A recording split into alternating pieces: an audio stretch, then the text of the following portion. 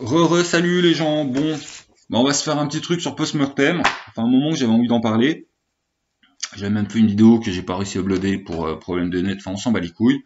Voilà, Postmortem, c'est euh, c'est notre jeu foulage du moment. On est sur une grosse campagne bien sérieuse à Eberron. Et bah, des fois, t'as pas tous les joueurs qui peuvent être là. Et c'est bien de se sortir un petit jeu pour. Euh, on rigole, puis si en absence, on bat le steak. Il va pas rater la campagne.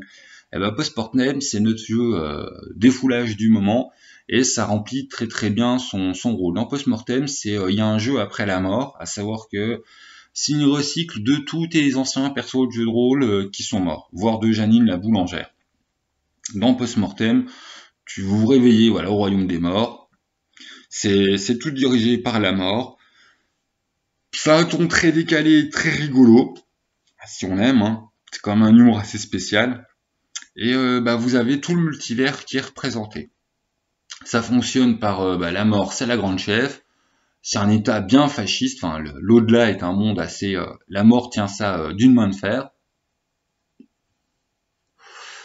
Et bon, je vais, spoiler à mort. ouais, je spoilerai juste à la fin tous les secrets du monde, histoire quand même vous montrer que le background, bah, il est là.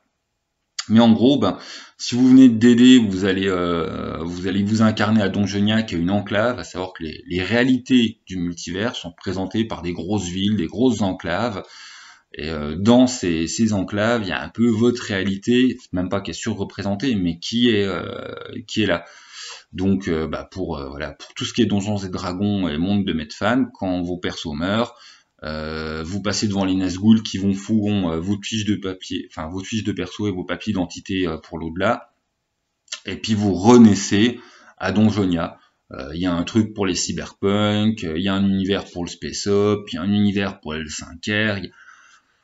Vous inventez ce que vous voulez, de toute façon, il y a un univers pour tout, il y a, y a du, univers pour des landes, il y a un univers de mort pour tout ce qui est actuliesque, enfin il y a vraiment...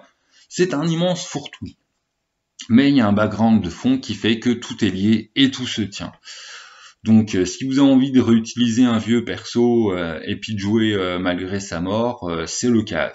Par contre, attention, Postmortem est un jeu rigolo, au sens il y a plein d'humour potage dedans, et même si tu avais un magot niveau 20, quand tu débarques dans l'au-delà, t'es re une petite merde. D'ailleurs, il a ce côté des jeux drôles, ou en fait, faut quand même savoir un minimum bien jouer. Parce que si vous faites n'importe quoi, on n'est pas à tout hein, si vous faites n'importe quoi, comme certains de mes joueurs l'ont fait, euh, bah, vous, allez vous faire défoncer la gueule euh, au tout début de scénar. Voilà, c'est pas pour joueurs débiles. Enfin, on fait pas des trucs débiles à post-mortem. Le monde est excessivement acide et plein d'absurdités et euh, absolument pas juste. Mais c'est pas pour c'est pas pour jouer à Toon. Voilà. Post-mortem, c'est excessivement décalé mais c'est entre guillemets pour bons joueurs, à savoir faut réfléchir. Le monde est tellement absurde que voilà, vous pouvez très très facilement, tout peut très facilement vous exploser à la gueule.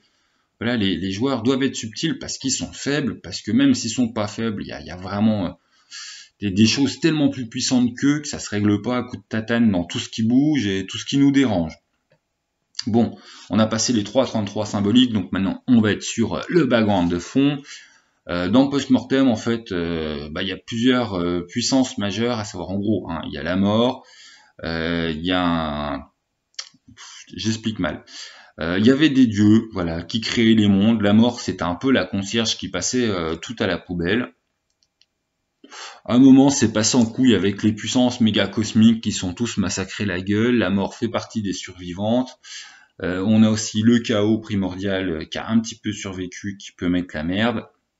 Et puis dans l'extérieur de la réalité absolue du multiverse euh, qui est tout tenu par la mort, on a le, seigneur des aspirateurs qui est là pour tout détruire et qui cherche à rentrer dans l'au-delà du multiverse.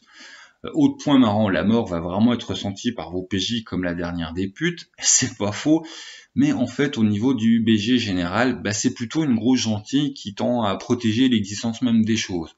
Bon, c'est aussi un peu un éleveur de poules. Hein.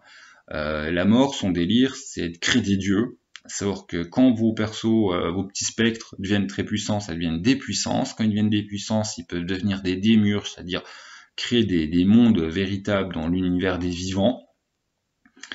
Et que tout ça est encouragé par la mort parce que ça lui ramène encore bah, justement plus de, spectres dans son propre royaume. Donc voilà, les, dieux, c'est un, un, peu des poules qui pondent des œufs. Et euh, la mort, c'est euh, voilà, c'est le maître du poulailler. Il y a plein de petits trucs dans ce goût-là. Enfin, j'explique super mal, mais post-mortem se trouve souvent pas cher.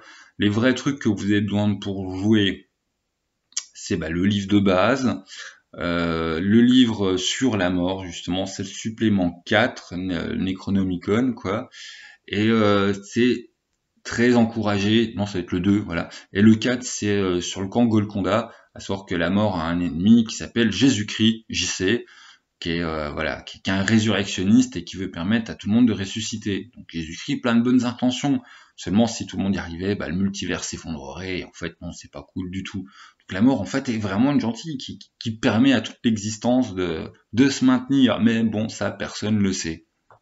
Et vos joueurs ont vite tendance à vouloir s'opposer à la mort, comme plein de puissance sympa. Mais en fait, non, la mort, euh, c'est pas la méchante de l'histoire. Même si c'est une grosse connasse hein, dans Postmortem.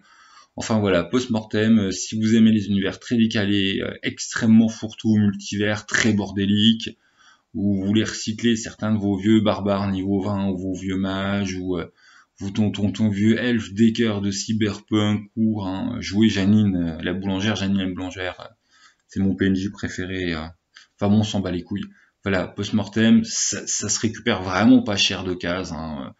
Vous pouvez vous démerder pour avoir la collection pour pas beaucoup. Voilà, moi j'ai chopé la mienne, l'intégrale à 50 boules, ce qui fait moins de 5, 5 euh, euros le supplément. Honnêtement, ça va. Et euh, voilà. Il y, a, un mec qui vend régulièrement ça sur, sur le bon coin c'est un mec qui doit avoir les fichiers, hein, qui les réimprime, parce que c'est pas exactement l'édition d'origine, le mec il doit bosser dans une imprimerie, réimprimer ça, mais enfin ouais, c'est ça, ça vaut le coup. Donc euh, post-mortem, si vous, vous arrivez à l'utiliser et que vous aimez bien le truc décalé, euh, morbide, euh, drôle, vous vous prenez pas au sérieux parce qu'il faut vraiment pas se prendre au sérieux, il faut être prêt à remourir trois fois par scénario et avoir des, des spectres annihilés dans tous les sens. Enfin, j'explique super mal le jeu, mais je pense que je communique un peu mon, happiness et mon enjoying, pour parler comme un gamin, de ce, jeu est à essayer. Voilà, c'est une bonne grosse franche rigolade. Et le système est extrêmement simple. Hein. Il y a deux caracs et puis c'est tout. Donc euh, essayez post-mortem, c'est une bonne rigolade. Après, c'est un humour assez spécifique, donc on aime, on n'aime pas, mais, euh, mais ça vaut le coup. Bon, sur ce, ciao les gens